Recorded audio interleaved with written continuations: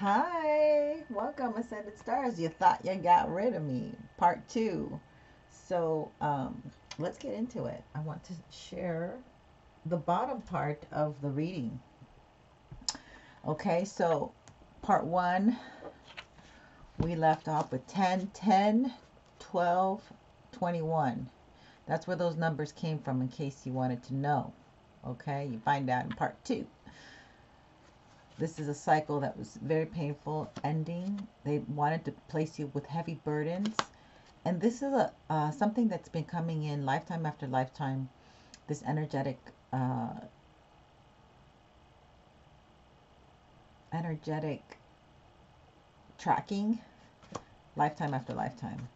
But you're into a new um, world energy now, okay? And that's where we're at. And things are coming your way with um, divine timing and angelic help. So, that being said, at the bottom of the deck, which if you look in video one, this stack was like this.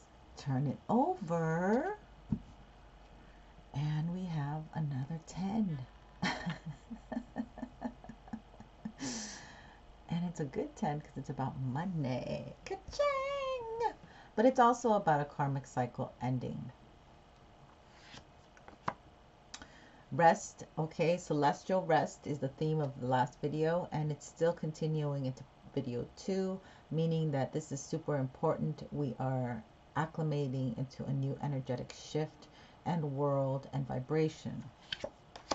It's time to take control. Okay, either way, as as as we're resting, we're being guided as well because you're tuning into spiritual energy, which is your antenna. There is conflict within the heart, though, as we do this because we're set in old ways, uh, patterns, directions, conditioning.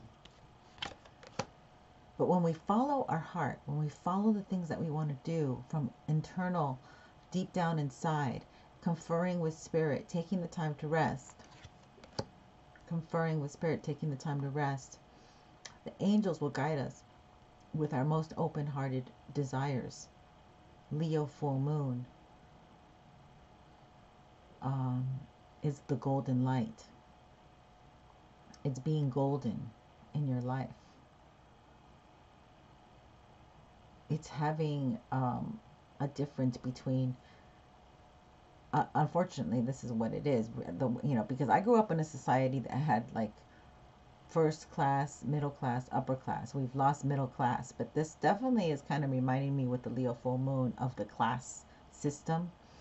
And you can't deny it when you're in that class system. That's who you are. You're, you're identified as that. But each one has its own place um, and has honor, you know, in, in, in you respect it. You know where you're coming. You know where I don't know. Now it's a mess. But um, anyway, Gemini energy. North Node was in Gemini, so this is a huge lesson. People have passed this lesson, have learned the the um, the ancestral karma with siblings, um, mother, fathers, uncles, cousins, all of the whole shebang. Okay.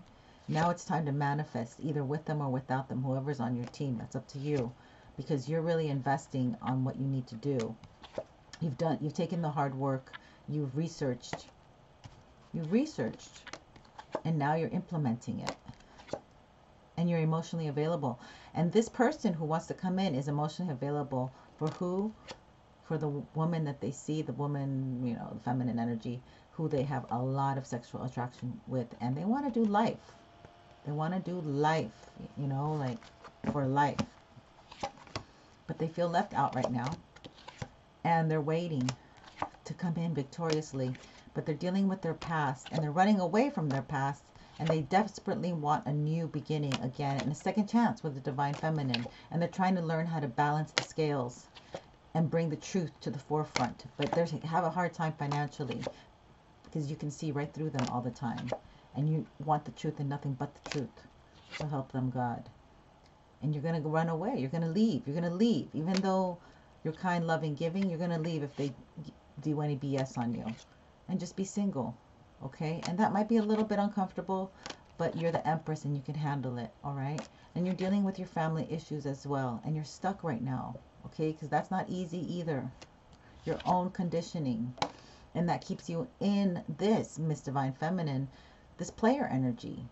So the player energy is coming from both of you, okay? It's like a reflection on both of you, and you have to have the courage to move forward and past it, and really, you know, have a new desire, a new. Uh, there's going to be a new desire, a new way of loving, phys- on the physical level and on the spiritual level, which are going to be united.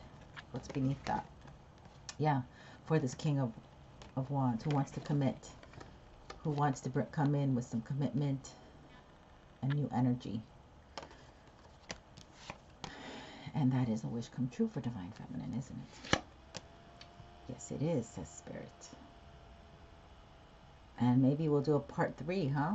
So that's what I got. I just wanted to check in with you guys and let you know that this is happening and there's been so many blocks and this is kind of what the, the situation is with the blocks but we're getting through it and we're going to reach divine union they do want me to tell you that um, this other person that's on the lower vibration that they do have an std now the Rona thing, you know, the C19 thing started coming in a lot in other readings, so I think it's because it's contagious. They have something contagious, okay? And and um, the karmic managed to keep them away from you. Say thank you, karmic, because the karmic gave it to them, and um, because they're a sex addict, okay?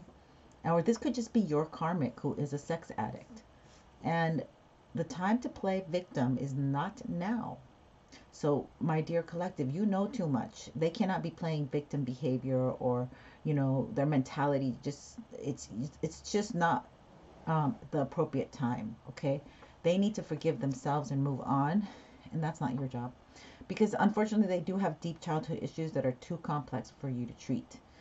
So they are saying keep it moving because something else like this is coming, and um you know, this is really going to get really spooky, but this other person who's very low vibrational has done spell work, has envy, jealousy, and is a container vessel for dark entities. So they do uh, something called necromancy. So look that up.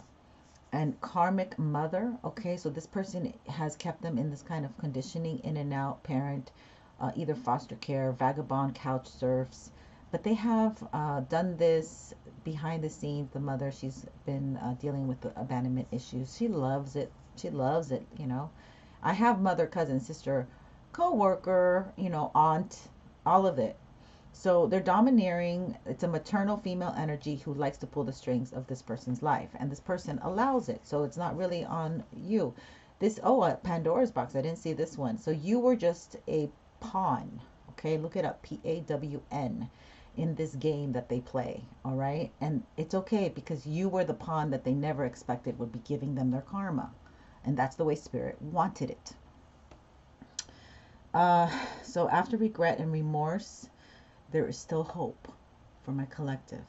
Remain hopeful, remain there because that's what this is about. Um, this is about the karmic mother just doing controlling and mind manipulation and this is for this person to be for this to be revealed in a very painful way through you the collective. So it's not you it's them. This person speaks well thinks well is smart but something is off with what? Their behavior okay and they do have more children or they're gonna have a child um, they grew up with an absent unhealed father and uh, I was telling you that the the Rona thing was going on, so the contagious thing. Um, they had blood work done on you, or I guess they went to the graveyard. I don't know, but they're deceptive. Okay, they're deceptive, um, and you and this is known behavior. So you're going to be trusting somebody who has already deceived you, and you're going to be going back into a trap if you give them a chance. So please, that is bait, and um, they're going to come in, but this the the lower one that who's already you already know who this person is. This is somebody who's not in this energy per se, okay? There's going to be maybe two suitors, and one is going to be lower vibrational than the other. And um, one's got maybe the one that you no longer is going to come in and say, "Oh, I want to marry you. Let's get married. I love you. You know, let's move in together." Something very dramatic and love bombing. So this is to confuse you and sway you away from the real deal. Okay? And that's what we have. So I just love you guys so, so much. And I want you guys to be um, careful out there. And I can't wait to share more of my personal stories with you because they are phenomenal. I have some amazing stories, and I am a survivor, and I'm very protected. And I thank Archangel Michael, my um, beautiful angels and spiritual family, and you, my collective. Have a wonderful, blessed day. Until we meet again, take care. Bye for now.